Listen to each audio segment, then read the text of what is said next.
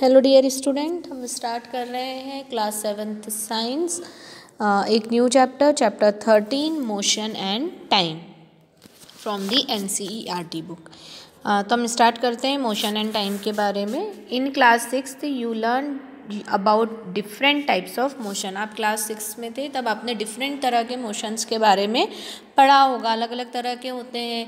Straight line motion होता है circular motion होता है पीरियोडिक मोशन होता है है ना? आ, जैसे कि that the could be along a straight line straight line मतलब सीधे इस तरह का जो मोशन है मतलब हम सीधी लाइन में मूव कर रहे हैं तो स्ट्रेट लाइन सर्कुलर मतलब हम जब सर्कल में मूव करते हैं तो इस तरह का मोशन सर्कुलर होगा। पीरियडिक पीरियोडिक मतलब एक ही पाथ पे बार बार मोशन जैसे जो आपने देखा होगा झूला स्विंग जो होता है वो एक ही पाथ पे बार बार मूवमेंट करता है, एक पर्टिकुलर टाइम बाद मोशन जो है वो रिपीटेट होता है तो इस तरह का मोशन क्या कहलाता है?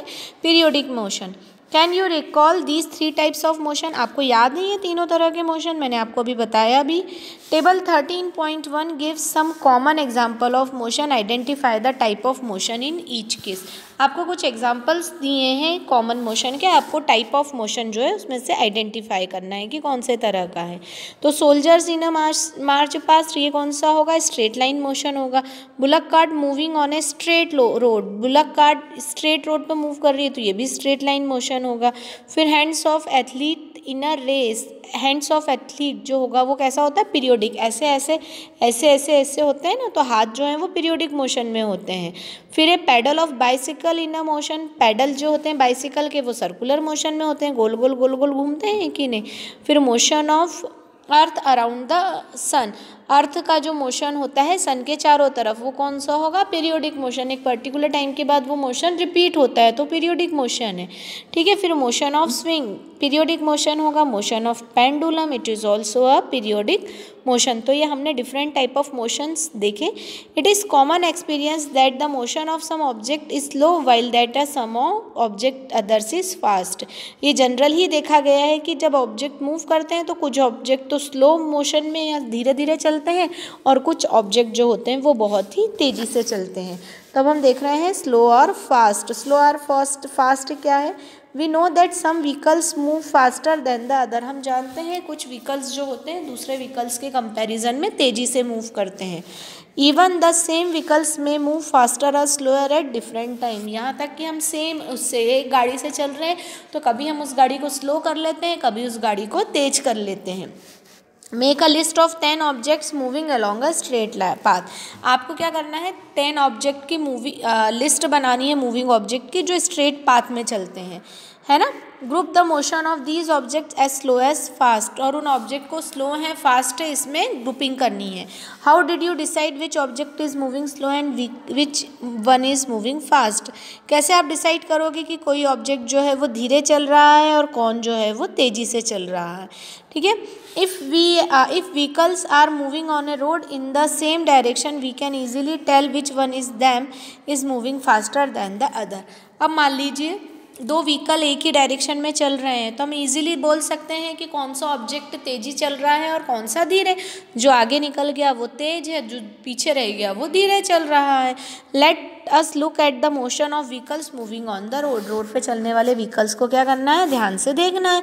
ध्यान से देख के आपको ये पता लग जाएगा कि कौन सा ऑब्जेक्ट धीरे चल रहा है और कौन सा तेज चल रहा है। आप गाड़ी से जाते हैं बस से जाते हैं ऑटो से जाते हैं। तो आप देखते होंगे बहुत सारे दूसरे व्हीकल्स जो हैं वो आपको ओवरटेक करते हैं। मतलब आपके जिस व्हीकल्स में हैं, आप उससे आगे निकल जाते हैं। तो आगे निकल जाते हैं तो क्यों निकल जाते हैं? क्योंकि वो जो है वो तेज़ी से मूव कर रहे हैं। फिर हमारा activity thirteen point one figure thirteen point one it shows the position of some vehicles moving on a road in the same direction at instant of the time अब देखो ये थर्टीन पॉइंट वन में क्या है? Same direction में move कर रहे हैं? कुछ अलग अलग टाइम इंटरवल में। ठीक है?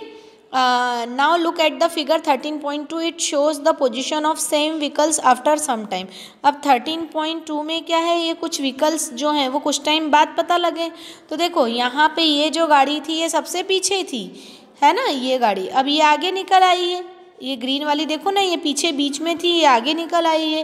ठीक है, उसके बाद रेड वाली तो उसी पोजीशन पे है, ग्रीन भी। बस ये ग्रीन जो है, ये आगे निकल के आ गई है। और ब्राउन कार हमें कहीं दिखाई नहीं दे रही है। मतलब क्या, ये वाली जो कार है, ये हमें कहीं दिखाई दे रही है क्या? नहीं दे रही है। मतलब अलग अलग तरह के ऑब्जेक्ट्स जो हैं, कभी मूव स्लो करते हैं, कभी फास्ट कर लेते हैं ना तो उस पर डिपेंड करता है। ठीक है?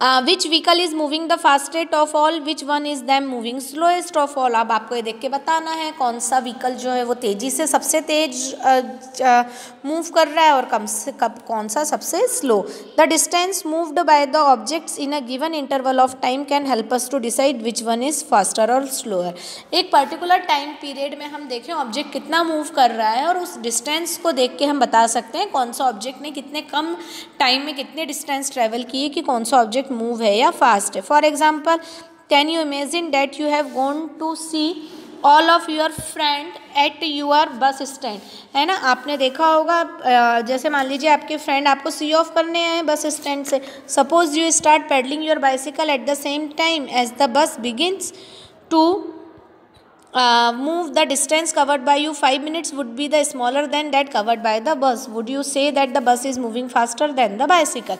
अब मान लीजिए आप साइकिल से बस के आगे चल रहे हैं तो क्या होगा? पाँच मिनट में आप साइकिल से जितनी ट्रैवल करोगे डिस्टेंस बस उससे कई ज़्यादा कर लेगी।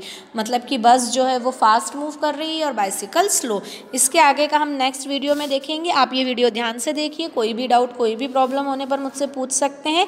एक बार बुक ज़रूर रीड करिएगा। Keep study keep watching thank Thank you so much.